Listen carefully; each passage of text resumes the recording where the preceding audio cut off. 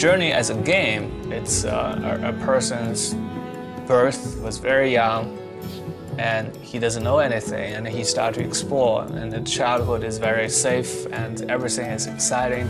Um, and then as he grew, uh, he realized more and more about uh, why he's here and his purpose.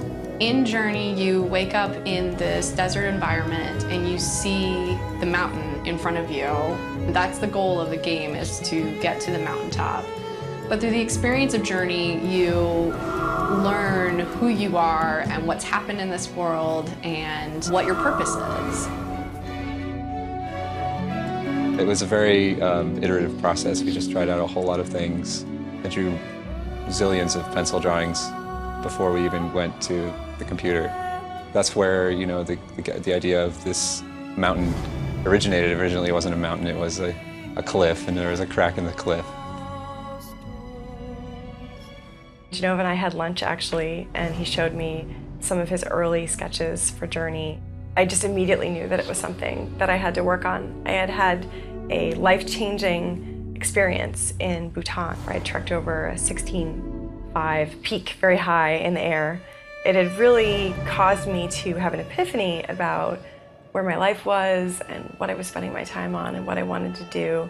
And as he was telling me about the concept of Journey and what it was supposed to represent, it just, it just hit me right in the heart and I knew that, that I had to go and work on it.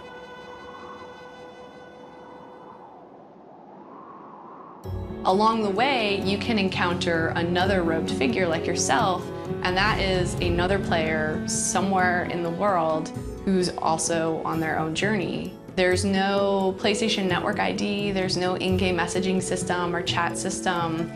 It's really about having an experience in which you're in this strange world and you encounter a total stranger. When I approach these games, I, I think a fundamental feeling does not require language. It's the only way I can make something that touches the American or Japanese audiences by creating something that's more universal emotion rather than a very sophisticated emotion. But because I'm trying to hit it from a universal level, it is a lot harder. And so, yeah, instead I actually just give up on language. The music of Journey is written by Austin Wintory, and he is my hero. When we were still in the very start of the project, he sent us a test piece of music, and it was just so beautiful. We, we did a, a little mock-up trailer to greenlight the game with his music in it, and it just it gave it the mood, and you know I think that really was something that helped get the game off the ground. So yeah, it definitely goes back and forth between the images being inspired by the music and the music being inspired by the images. The process is so iterative. There's no way to just say, here's your score. You know, in a film, it's a pretty, it's a tried and true system. But with games, it's sort of like being on the frontier in the 1850s, where it's sort of this lawless territory that's a little rough and tumble, but it's also this beautiful, untapped wilderness at the same time. Uh, but of course, on the road of the hero's journey, there's temptations. There's moments where you're lost. And then eventually, um, you grew up, right? You figure out where you're going. And through struggle, you overcome yourself and you reach the transcendence. The last third of the game is my favorite.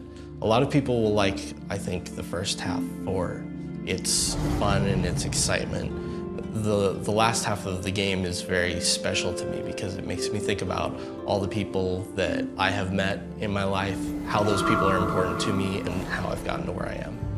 One of the things I love about thatgamecompany games is it allows you to project yourself into the game. The things that are going on in your life and the things that you feel there, you, you can attach yourself to things and those experiences that happen in the game, and they help you resolve and, and look at those things in a different way. And that's really, that's really the special part about their game. So I think it's a very individual experience for everyone. And for me, it's, it's very potent. I, I've been thinking a lot about how to describe Journey.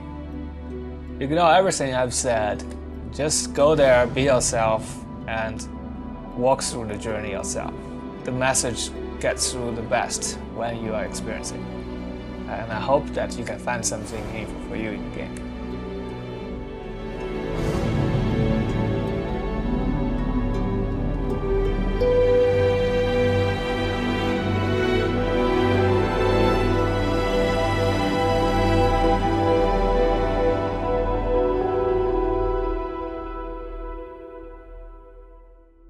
プレイステーション